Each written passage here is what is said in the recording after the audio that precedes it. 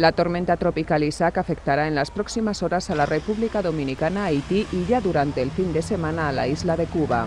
Según el último boletín del Centro Nacional de Huracanes de Estados Unidos, el fenómeno se encontraba esta madrugada a unos 200 kilómetros al sur de Santo Domingo y avanzaba hacia el noroeste a una velocidad de 30 kilómetros por hora, con vientos de hasta 75 kilómetros por hora.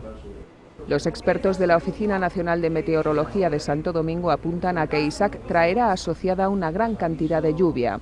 Miguel Campusano es el subdirector de este organismo. Tiene un amplio campo nuboso que abarca desde la Antilla Menores hasta prácticamente el Caribe Oriental y Central. Tiene bastante nubosidad y las lluvias Cientos de dominicanos se abastecían este jueves de conservas, agua y otros artículos como velas, linternas y baterías para resistir el paso de la tormenta tropical que el domingo alcanzará previsiblemente los Cayos de Florida y el lunes avanzará por el norte del Golfo de México.